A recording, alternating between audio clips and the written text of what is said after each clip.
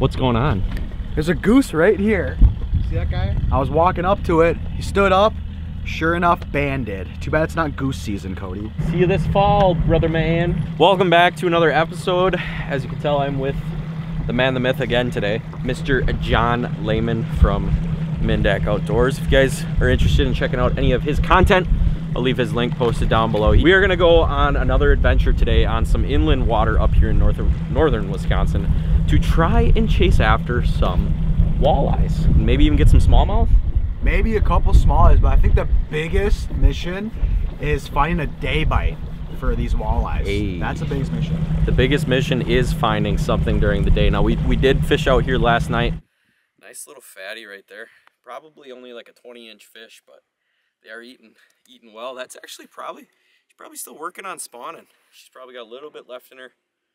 But that is a gorgeous northern Wisconsin fish right there. That's why we came up here to chase after these gorgeous looking fish. Oh. Later, girl. Look at her. Hey, look at that. Dude. That thing is thick, bro. It's milking. See it milking? No way. Right in your boat? Yeah. Or I mean, not milking, but like Yeah, the eggs are coming out. Eggs. Let's go, dude. Nice fish, dude. You want a couple pictures? Hair shy of 25, but like all of six to eight pounds. Yeah, dude. That's you know? freaking fatty. Yeah. She's got to go do her thing, man. Nice fish, dude. The water is so clear. Um, we caught quite a few decent sized fish and we want to try and replicate it during the day. Obviously we know walleyes are a low light fish. Uh, they become a little more active at night. They push up shallow, they start looking to feed, and it can be a little easier to catch walleyes, but getting them during the day can sometimes be a chore, and that's what we're gonna try and accomplish today. So it's gonna be me and John. Uh, we also got our good buddy Nick from NBedits up here too as well. He actually launched at a different location in his own boat. Um, he is with one of his buddies, Bridge, and yeah, we're gonna go uh, go out. We'll probably meet up with them and see what we can find out here today. So we got a couple of hours before I gotta actually head out of here, go home, back to Green Bay, and we're gonna see if we can find find some uh, walleyes to uh, munch. So stick with us, stay tuned. Hopefully today's a good day. Let's go find some fish. We just arrived to the first spot. John and I are gonna give uh, give this spot a little bit of time here. Kind of getting wind blown into it right now, but kind of not. Uh, we found a couple other spots kind of where we launched that we think might be fire.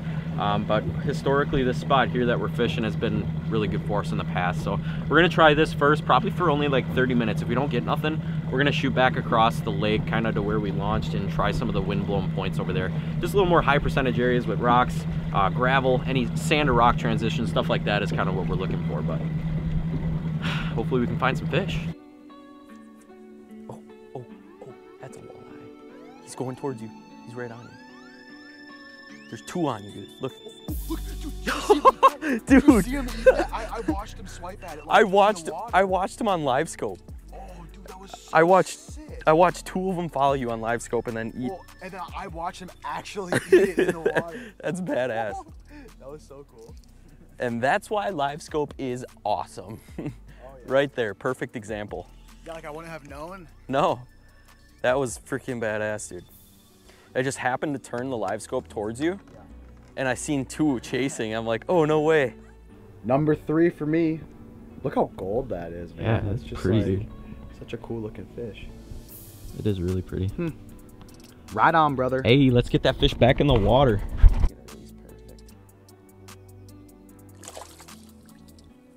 All right, so today we are ripping with the Garmin Livescope, and I just want to show you guys how we're actually using this. We're on a really steep break right now uh, on a shoreline on this lake, and all we're doing is we got the boat kind of perpendicular to the shoreline, and we're just scanning that shoreline. As you can tell, we're in 12 feet of water right now, uh, which is relatively deep compared to what it is up on that shoreline. Uh, we got a ton of rocks across the shoreline and it actually gets up to like a foot of water real, real up tight there underneath those trees.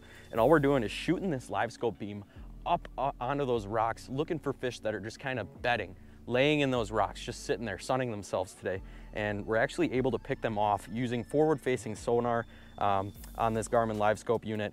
Uh, we basically got this thing set up. If we go into menu here, um, sonar setup, installation, orientation, you can see we have that set to forward mode. Um, so what you've seen us use previously this spring has been the perspective mode. Um, but I've noticed when you get this type of contour, it's a little easier to use that forward facing mode to be able to scan up into those rocks and look for fish. But if I go ahead and cast my jerk bait up here, so I'll cast it up uh, onto those rocks. Um, if I get my Livescope positioned correctly here, you'll actually be able to see that jerk bait kind of come into frame once I get it a little deeper here. There it is. So there you can see it at 30 feet, just start to make it out there. If I go ahead and jerk it, what will happen is these walleyes will come out of the rocks um, that are sitting on this break. It's a little tough to see, but you'll see those walleyes kind of raise out of those rocks, like this one right here. Oh, please eat. That would be perfect. Oh, he's coming.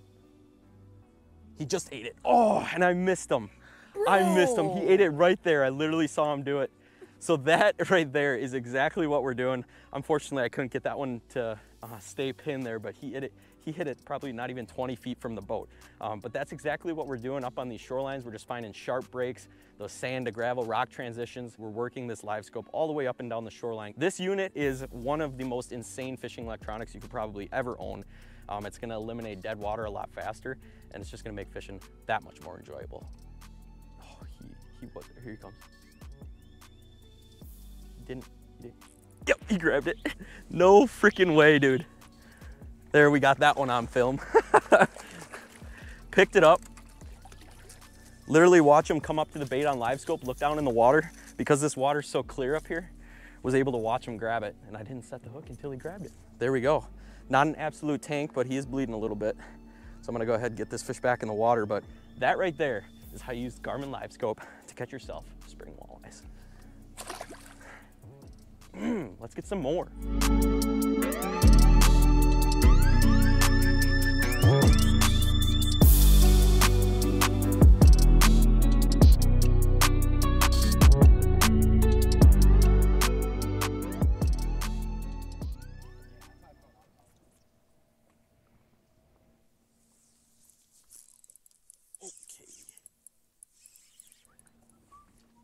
got that one.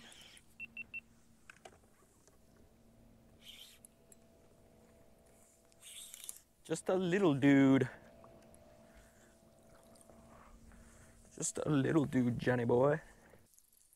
Hooked up. Just a little healthy male there. You can tell he's still milking all over the place. And John is now hooked up. More doubles.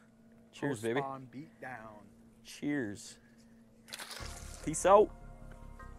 I don't know, some type of air sac in your stomach or something.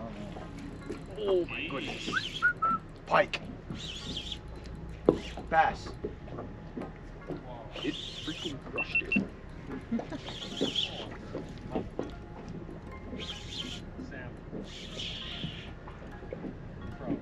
hey, it is a walleye. Nah, just kind of came in weird. It do be a walleye. Let's go. It is another walleye for me today. All right, pal. Thanks for uh, showing up. There he goes. Man, that water is cold yet.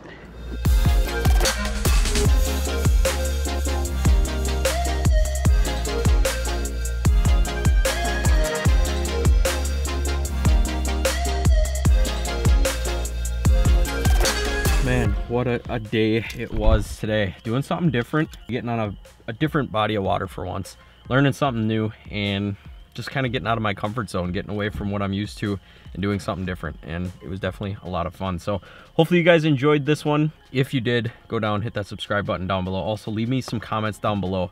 If you guys fish a lot of inland waters and um, if you like inland waters or if you're more into the Great Lakes systems that we have here in Wisconsin. Either way, they're all a ton of fun to fish. Catching walleyes is a lot of fun and it's uh, definitely something that I can never say no to. So like I said, hopefully you enjoyed this one. As always, keep living your dream. See you guys on the next episode.